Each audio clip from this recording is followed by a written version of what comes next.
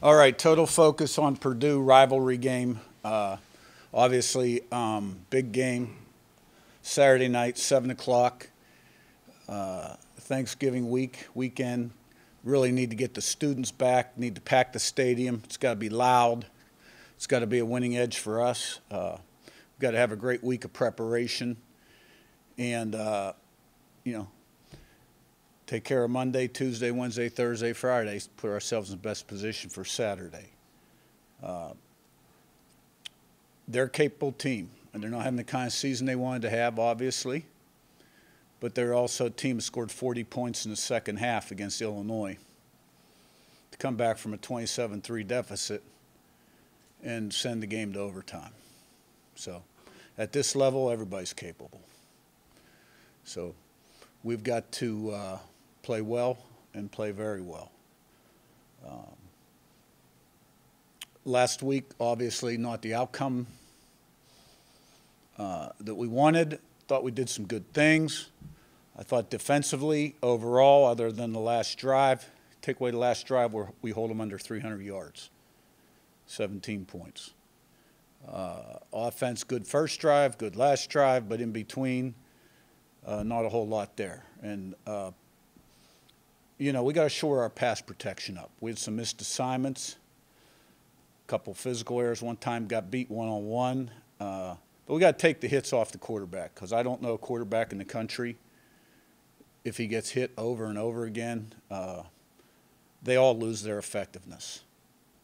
So I thought we ran the ball fairly well. I mean, we averaged over four and a half yards a carry, take away the take a knee play at the end of the half, and uh, ran the ball fairly well. Obviously, the punt team cost us 14 points. You know, it's a 7-7 game with about a minute 40 to go in the second quarter. We drop the snap, and they get the ball on the seven-yard line. And then uh, we punt the ball, first series of the second half, and get a 79-yard punt return for a touchdown. Punt's supposed to be kicked to the right and ends up over on, on the left number, and all, all of our coverage is going right. Ball goes left, and we were in a bad spot. So, uh, looking forward to this game.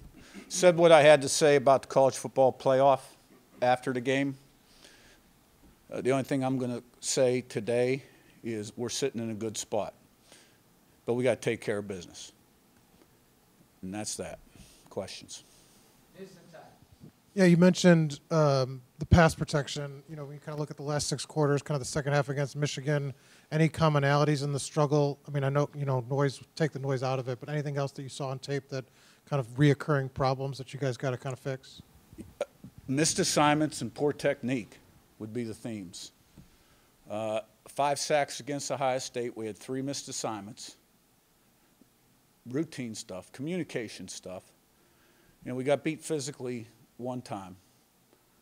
Um, and uh, poor technique on a weak side twist, which was similar to what Michigan had given us the week before. A little different, but similar.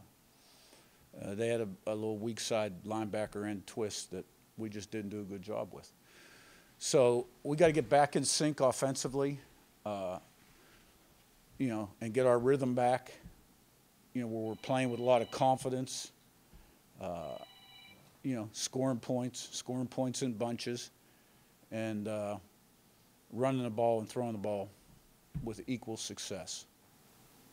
And, and you, is part of the is part of that you mentioned on, on Saturday kind of the increased athleticism and sort of of, of Michigan and Ohio State. Is that part of why those things crop up where maybe a guy forgets technique because you're facing a guy that's quicker or they're, they're well, more the, speed? Uh, most of our problems Saturday were assignment errors right? Like day one protection, certain lineman's supposed to go to the left and he doesn't.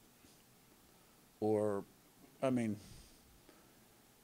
there were three five-man pressures and two four-man pressures. One was a simulated pressure.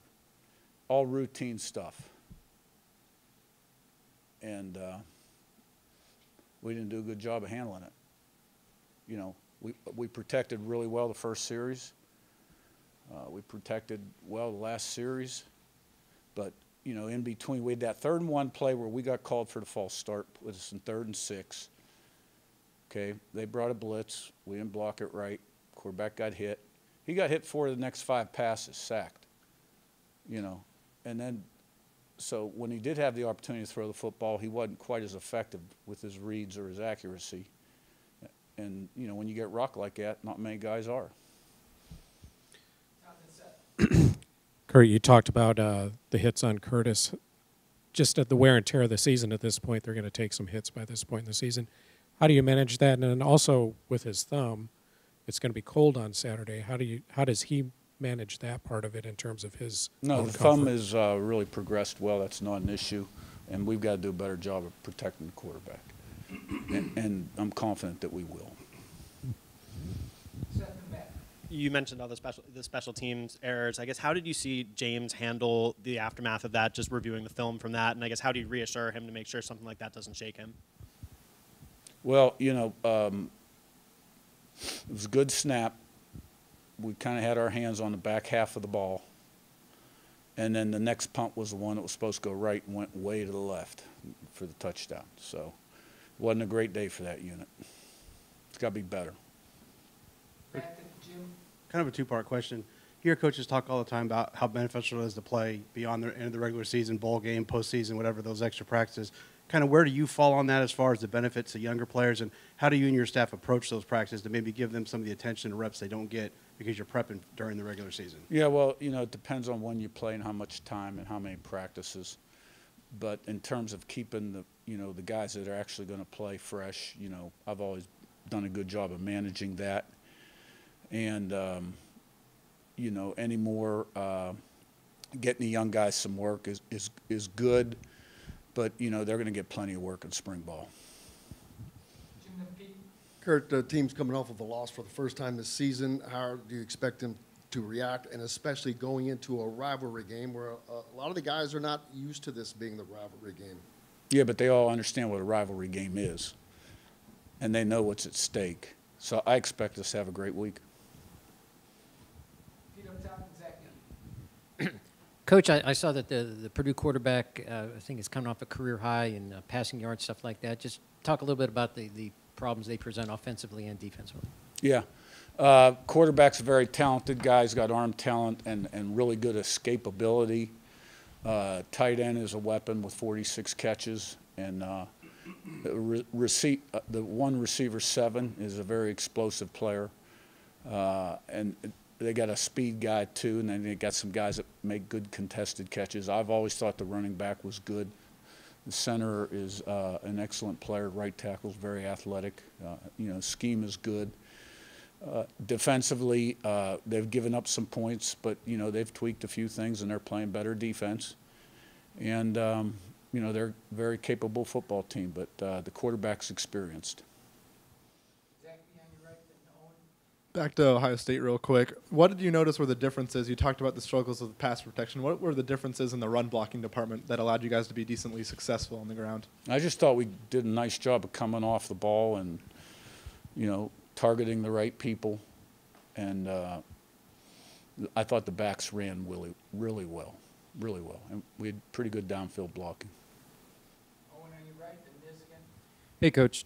Uh, Tyler Stevens has kind of been moved around the line throughout his entire career. Just how have you seen him relish that opportunity, and how beneficial uh, has he been this season? Yeah, I think he's done a really nice job both games at left guard. I hate that we lost Drew Evans because I'm very high on him, and he's got a couple years of eligibility left. He's a real tough guy, but Tyler Stevens has uh, stepped in and done. He's done well.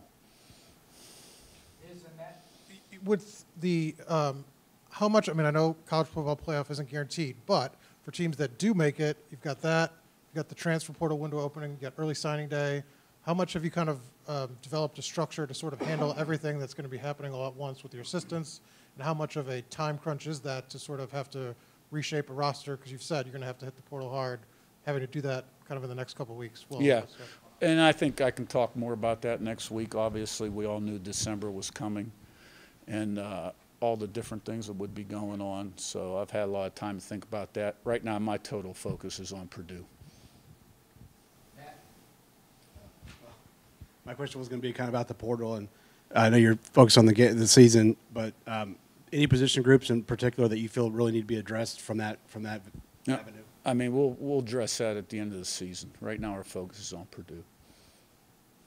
All right, thanks, Coach. Thank you.